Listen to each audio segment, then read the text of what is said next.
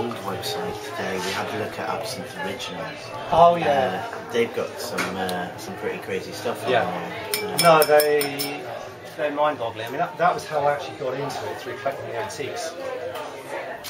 Um, and it was only afterwards that uh, I decided to make the absinthe. Yeah.